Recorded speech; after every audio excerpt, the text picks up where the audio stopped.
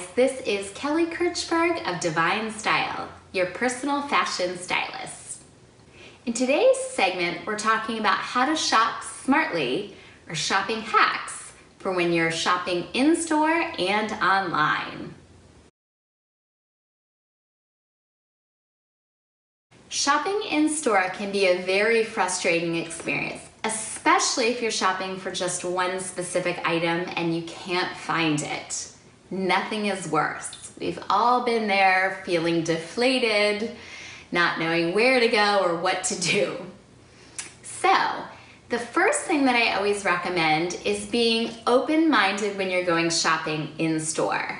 So there might be designers that you typically like to wear, or different cuts or silhouettes or specific brands that you like.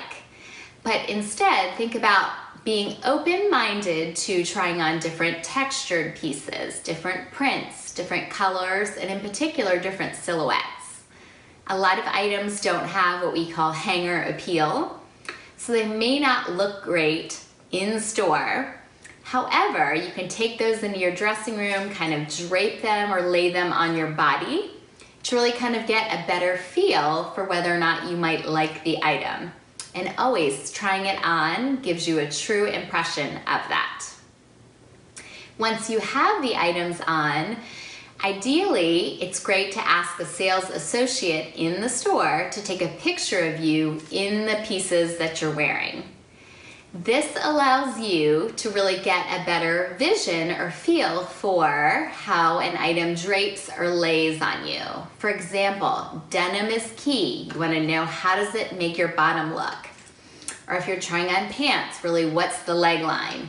If you're bent over, you're not going to be able to tell.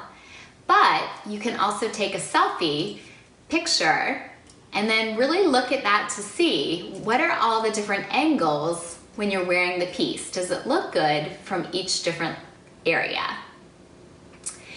The next thing, and this is only for my shoppers that are really willing to take pieces back, but I recommend going in store and taking home everything that might catch your eye. The reason why you want to do this is when you're trying items on at home, it's much better to try them in your true natural lighting versus a store's sort of fluorescent bright lights. It's better also to try the pieces on and intersperse them into your own wardrobe. So it might be a great top or cool sweater that you found. How would it look with your favorite pair of denim, for example? Or you may have a killer skirt and you really need that chill blazer to go with it. Whatever that may be, but really trying those pieces on together with your own boots or shoes, high heels, whatever it may be, really will allow you to wear an item and see how you could incorporate it into your own wardrobe. I really recommend this with handbags as well because seeing a piece in store, sometimes again the lighting can be off, but when you take it home, it's great to try it on with different outfits where you would use the handbag. It also gives you a better feel of how are various ways that you can style that piece or use it day to day to get the most out of your items. And then of course, once you're done and you see here's the pieces you want to keep, you can intersperse and put those into your closet and really get the best and most use out of them. And then pack up all the items that did not work for you and you can do a return for when you shop again. So when you're shopping online, it can be so tempting. Click, yes, purchase, purchase. I want that item. It looks great. It's on sale. Everyone does it. However, the smart thing to do is when first, when you're shopping on a site, whatever website it is that you're liking, is to put any item that might interest you in your shopping cart and hold off on the purchase button. The reason why you do this is it's great to look at items for a while, to keep them in your cart, keep continuing shopping, and at the end, then go back and do an edit. Most stores allow you time to leave items in your cart without it being removed. If it's down to just a few left of the item, online sites usually alert you to that so you would know, oh, this is the last one or you're getting one of the last few and then you might want to make an immediate purchase. But ideally, you're going back to look at all the items that interested you in your online shopping cart, and then you can edit down to truly the pieces that you really are interested in. But before you go through and purchase, ideally we recommend taking a night, sleeping on it, and then getting up to look at the shopping cart again in the morning. The reason why you do this is to see, did I think about the item at all?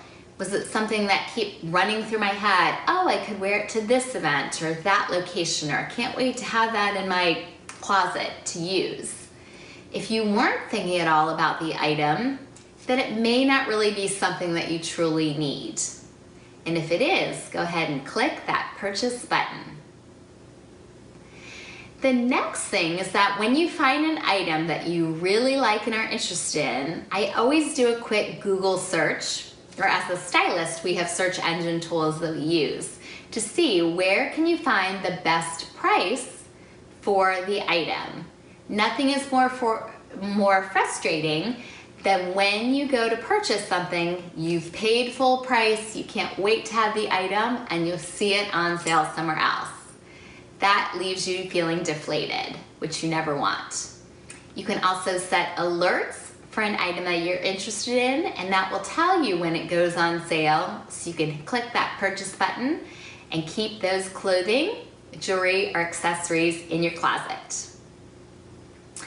The next thing we recommend is when you're shopping online is it can be very frustrating and overwhelming to go on a website and you're saying, I just want a new top, for example, or I just want a new pair of jeans, and they might have thousands on a website to look at.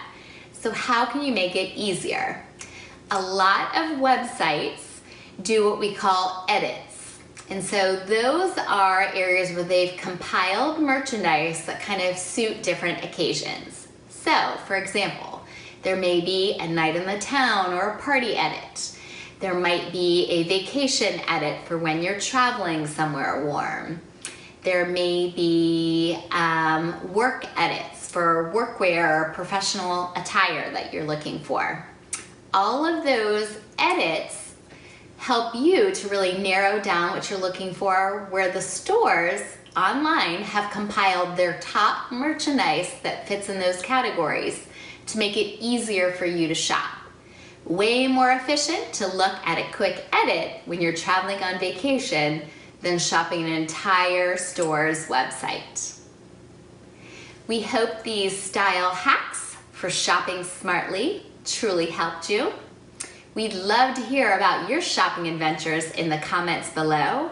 So let us know what do you do to help shop more efficiently and smartly or what are ways that you shopped and you want to share those with us? You can do that online using the hashtag Divine Style and show us as you're out shopping away, finding those key pieces to have in your closet. Don't forget to check out our style freebies that are below in the comment box and subscribe to Divine Style's YouTube channel to get the latest client makeovers style series, and all our fashion videos in your feed. Thanks for watching and see you on the next segment.